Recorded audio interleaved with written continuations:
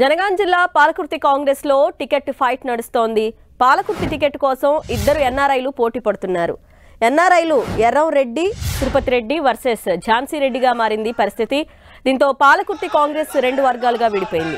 ఝాన్సీ రెడ్డికి ఇండియా పౌరసత్వం లేదని తిరుపతి రెడ్డి ఆరోపిస్తున్నారు. మరోవైపు తిరుపతి రెడ్డికి వ్యతిరేకంగా ఝాన్సీ వర్గీయులు సోషల్ మీడియాలో ప్రచారం చేస్తున్నారు. పార్టీ రెండుగా చీలటంతో కార్యకర్తలు అయోమయానికి గురవుతున్నారు.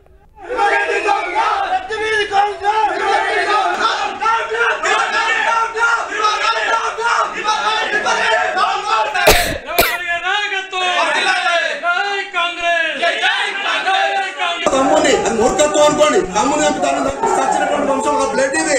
నీ భయపడతాను